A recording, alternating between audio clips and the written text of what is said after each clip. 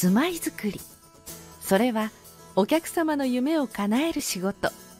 そしてその夢を施工から支えるのが施工協力会社の職人たち。建築のプロです。積水ハウスでは軽量鉄骨重量鉄骨木造その他多岐にわたる構造の建物を作っています。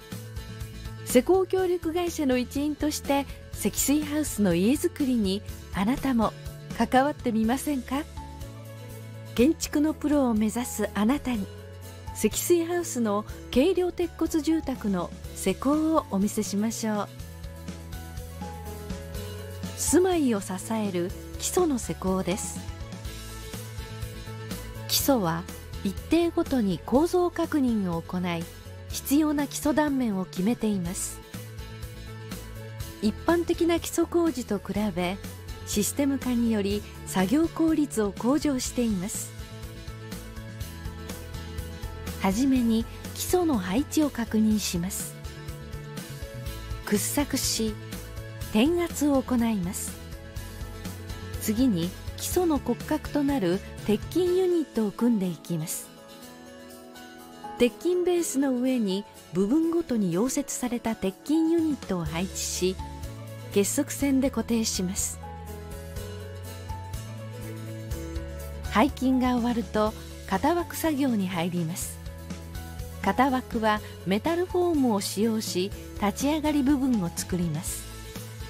この時基礎の外観を特徴づけるデザインパネルを取り付けます。型枠の精度を出すためにメタルフォーム定規を配置しベース部には主にカルフォームと呼ぶ部材を使用します。建物の構造体である鉄骨を基礎に固定するアンカーボルトを取り付けます。生コンを挫折しベースから立ち上がりまでを一体で成形します。一定のコンクリート養生期間を経て型枠を外し整地します。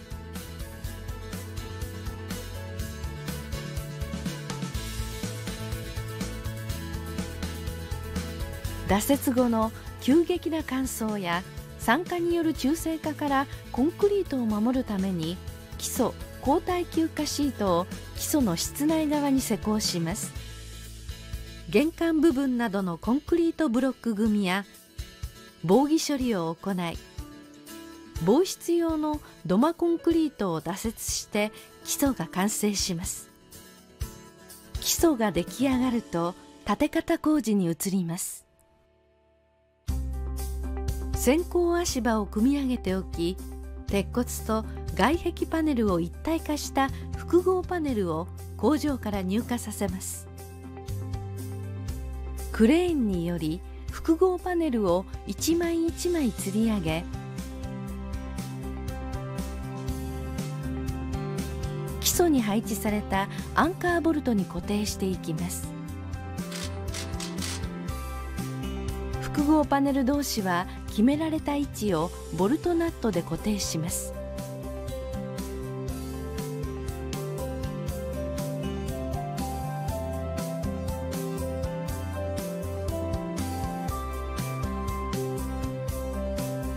1階の壁が出来上がるとその上に2階の床張りなどの部材を組み込み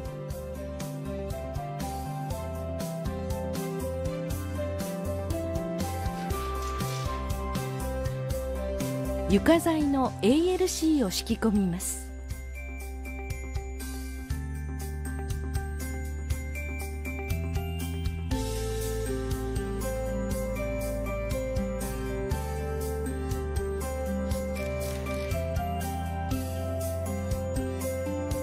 1階と同様に2階壁と小屋張りを組み屋根を形作る小屋組が完成します。もや材を取り付けのじ板を張ります。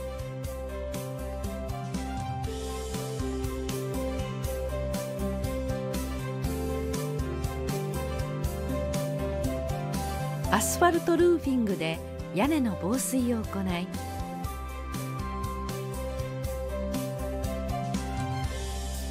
軒先軒裏部分や問いさらにバルコニーや手すり屋根材その他の部材を取り付け外装の完了となり内装工事へと移っていきます。内装工事は床を作るところから始まります。1階は鋼製の大引きに鋼製塚を取り付けコンクリートピンで固定します。断熱材が組み込まれた床パネルを配置しビスや釘で固定します。床工事の前後にはいろいろな配線配管工事を行います。断熱材と一体になった内壁枠を取り付けます。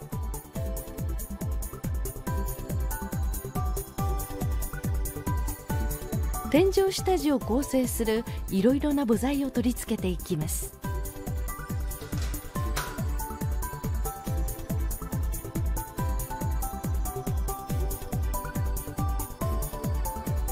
天井断熱材を入れ天井石膏ボードを貼ります。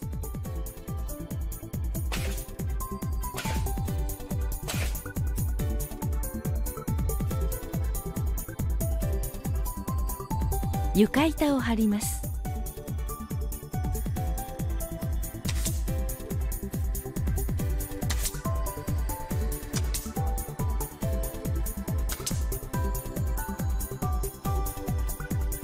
窓額縁を組み立てサッシ枠に取り付けます。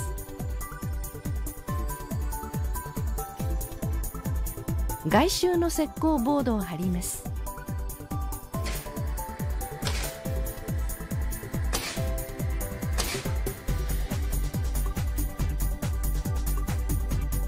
間仕切り壁下地の施工に移ります。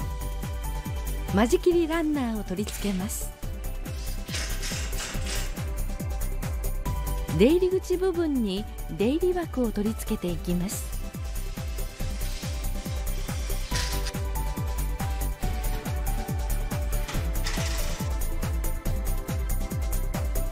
間仕切りスタッドを立て込みます。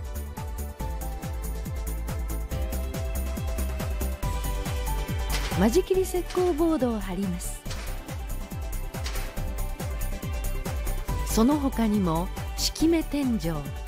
床の間などの和室造作や階段施工を行い手すりやカウンター収納幅木などを取り付け内装を作り上げていきます。その後クロス張りや設備工事などのいろいろな工程を経て積水ハウスの住まいが完成するのです。どうです？あなたも基礎工事のプロ建て方工事のプロ内装工事のプロとして施工協力会社の一員となり積水ハウスの家づくりに関わってみませんか？